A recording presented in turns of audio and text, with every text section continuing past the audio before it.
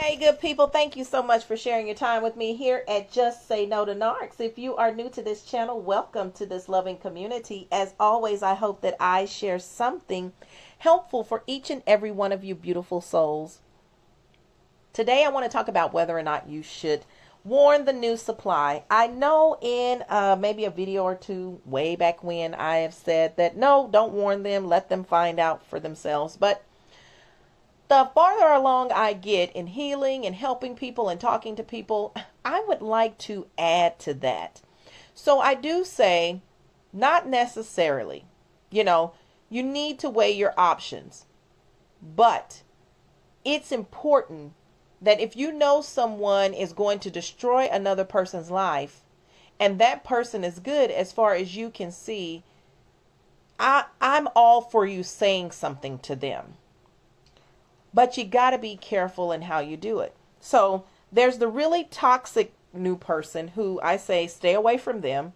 Um, they're already doing stuff against you before you even know who they are. And that was my situation as leaving and seeing a new person come into place. A person who was willing to, um, you know, email my boss, smear my name, say things about me. And I had never met, I'd never done anything to this person. Those kinds of people do not waste your breath. Now, you can pray for them if you like because God says pray for your enemies, you know, but it uh, uh yeah, I'm going to leave that right there because God's still working with me in that area. Now, the person when you see a new person who is seems to be a pretty good person, they're not, you know, worried about getting involved and smearing and all of that and they're just kind of, you know, a little indifferent and you have a window of opportunity to speak to them, send them a message or something, why not? Now, you definitely want to use caution. Um, if you have children with them, you want to use wisdom. So, the most important thing to do is to pray to God and ask that God would give you the words to say if He wants you to say something. But to be a willing vessel, an open heart to share with someone else the danger that they're entering um, I think is a very honorable thing to do.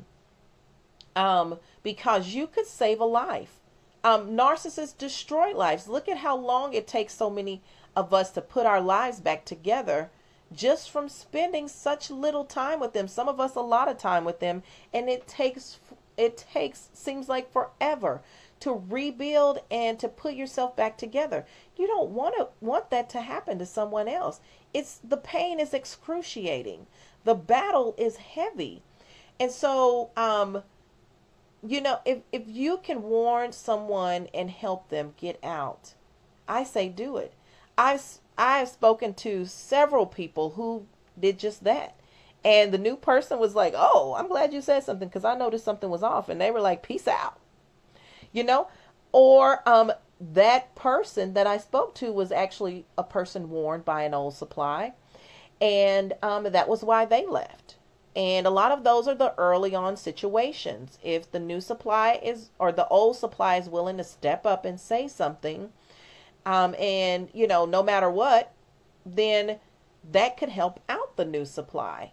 And i want to tell you in my situation the old supply was really demanding and I had seen some questionable things and behaviors and stuff from her, you know, hearing her on the phone and things like that, um, that were concerning for me and some, you know, some financial issues and some neediness with the ex sociopath that kind of made me question her when she wanted to reach out to me initially. So I just blocked her. I didn't even listen to her. I don't know what she wanted to say at that time. Um, and that was just because of her behavior. She was demanding and aggressive about me talking to her and just keeping up a lot of commotion. So, if you're going to reach out, you can't be like that if you want the person to be open to hear you. You need to be on your best behavior. Um, and so that means not going back and forth with the narcissist, not pointing fingers at that person, making it like they're the ones that ruin the lives and the relationship because that person didn't know anything about you other than that you, you know, whatever terrible things the narcissist shared. But it doesn't mean that they believe it because I didn't believe what the ex sociopath shared with me about her, even after seeing some of the things that I had seen within her for myself. I still didn't take I can't even remember all of the specific things he said about her. That's how much I didn't, you know, take it to heart because I always know there's two sides to a story. But it was her behavior that turned me off from listening to her. If she wasn't aggressive, I would have listened to her early on. And I probably wouldn't have lasted any time in that relationship. I would have walked away, knowing what she shared with me, you know, over a year later.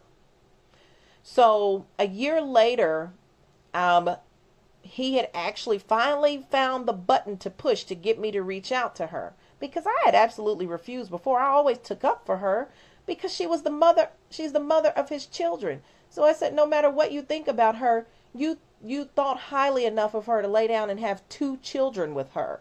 So I don't want to hear it. And that was always what I would say to him.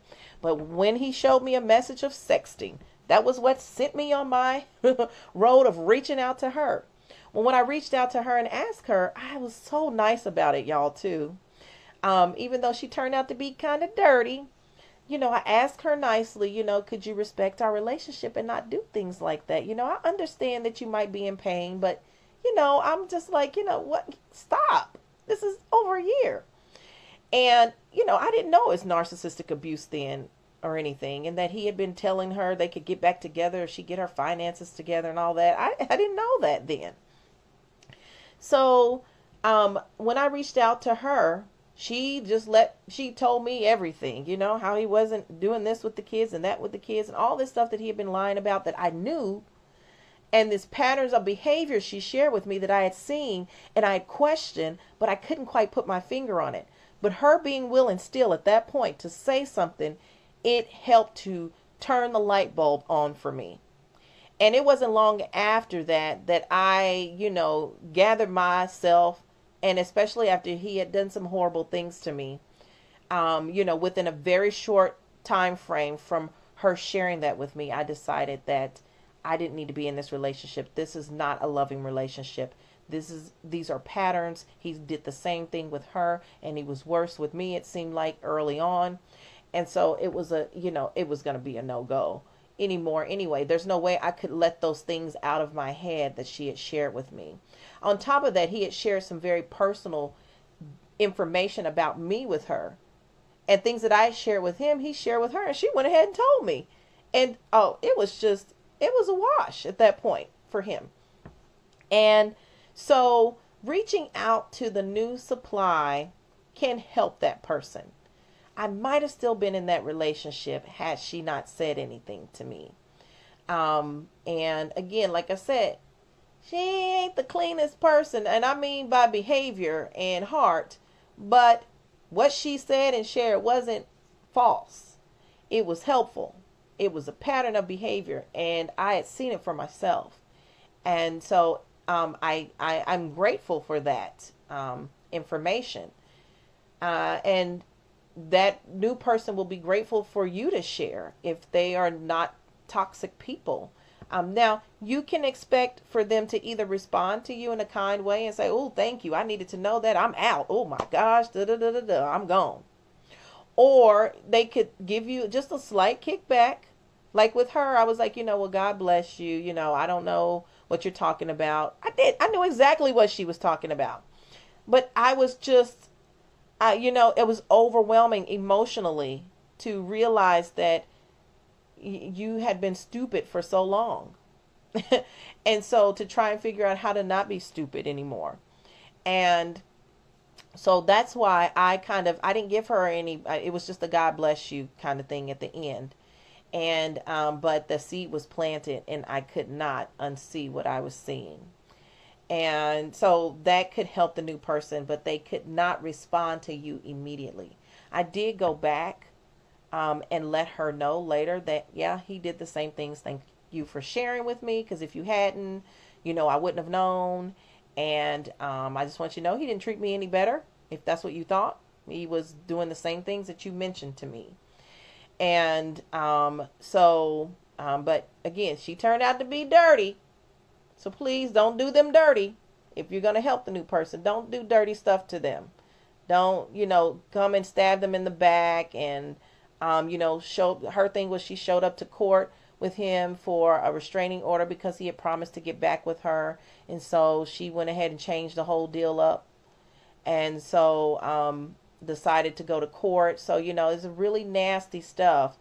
And so that kind of thing that people are leery about, um, you know, it really her motives. Make sure your motive or motives are right. Her motive wasn't really to tell me um, about him so I could leave and she could save someone. That wasn't her motive. Her motive was, was to tell me so that I could leave and she could get back with him. But sh- little did she know, he had already had somebody else he was working on. So he got her to do what he needed her to do. Then he moved that new person in right away.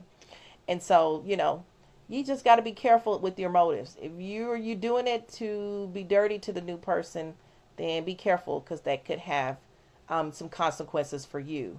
Um, and you know that had to be devastating for her to think that she had the victory she won and got me out, and then was helping him to do a smear against me and lie on me, and then it all you know the bottom fell out for her um, when that new person showed up.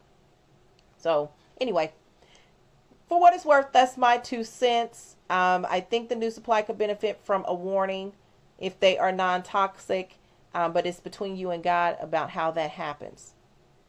It is important to use wisdom and it is important to not have a motive of trying to get back with the narcissist or a motive of ruining the narcissist's life or ruining that person's life or getting back at that person for coming with the narcissist, ending up with the narcissist because it's not their fault.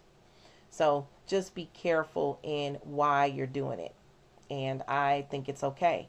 Somebody's got to tell somebody we can't continue to let narcissists rack up bodies and not talk. So I'm always going to talk. So whoever happens to listen, I mean, hopefully, I'm sure that I I may not be used in tri- triangulation anymore because I'm a talker. So when you become a talker, they're not going to be using you triangulate too much because that other person will just look over at what you got to say and and move on. And so you know you jep- you threaten the narcissist supply and that's okay. I'm all for that. God bless you. Take good care of yourselves. Please let me know in the comments below about your experience. Were you warned? Did you warn someone? How did it turn out? Um, again, be careful of the toxic people. Do not waste your breath or your energy trying to warn those beasts. They are similar to the narcissist, and they will join forces with the narcissist to, kind to come and try and take you down. Um, so just be careful. Um, but yeah, I would love to hear your stories. Um, and I'll be waiting for the comments below. God bless you. Take good care of yourselves and take care of the people who love you. Goodbye.